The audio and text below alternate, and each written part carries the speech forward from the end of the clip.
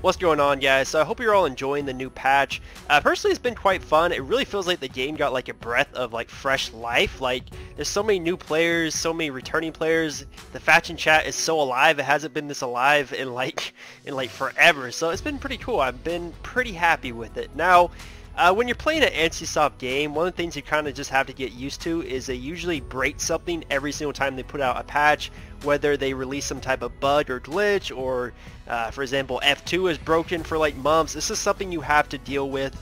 Uh, but this kind of thing they put out with this patch has got a lot of players very upset on the forums and Reddit.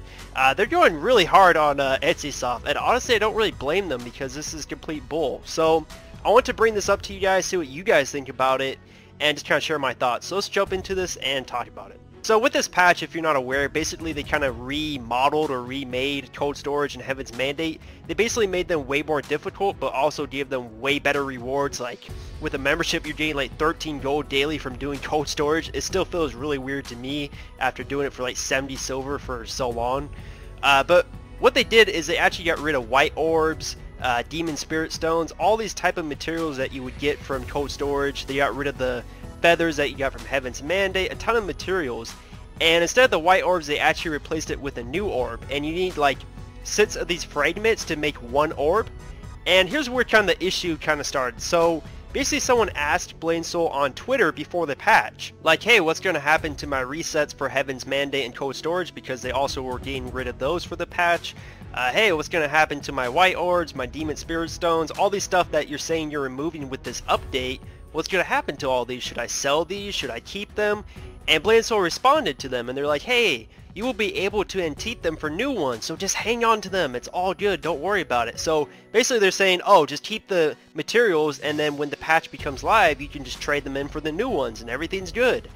And sadly that wasn't the case at all when patch day became live. So on the patch day, one of the moderators actually posted this on the forums and he said, Hello everyone, as you have noticed there are some items that are showing up in the sell antique window for one copper each.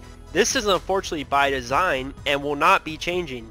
Due to testing complications for these items on our internal servers and a miscommunication with the development team, not really surprised there, we thought these items would be exchanged for their new equivalents. This was not the case as we had confirmed earlier today. We apologize for the inconvenience and will make every effort to ensure this won't happen again in the future.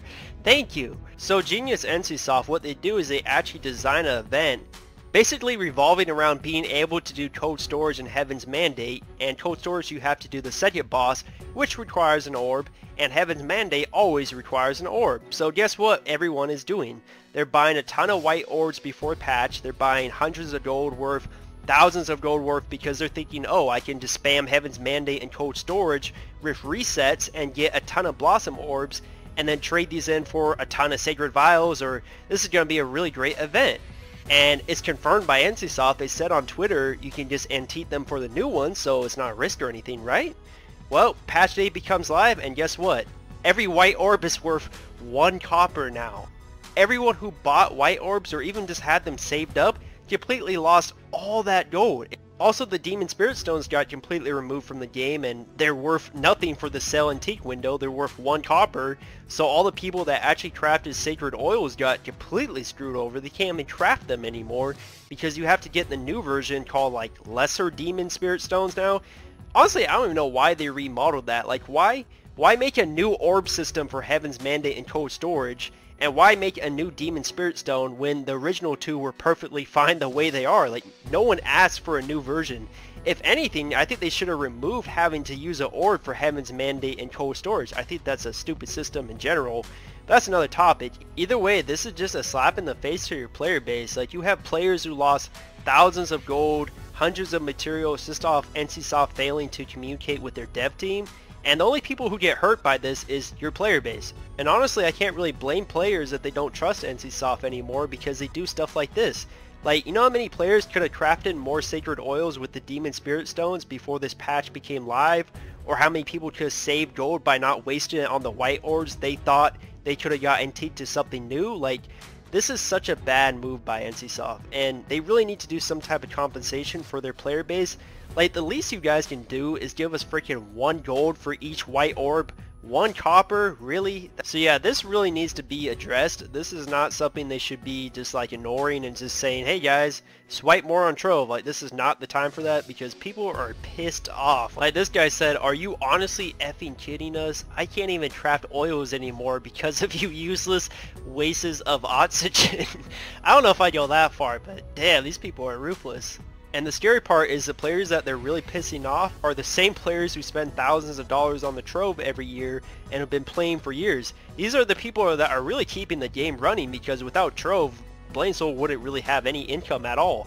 So these are the people you really don't want to be pissing off because these are your your precious whales. Do not piss off the precious whales and that's what they're doing right now. So they really need to fix this and dress this. I just feel like this is such a bad move from a company and I honestly don't really trust them at this point. It's just really bad. So let me know what you guys think about this in the comments. This is honestly just one big mess and hopefully NCSoft decides to try and resolve this in a in a fair way to their player base. Anyways, hope you guys enjoyed the video.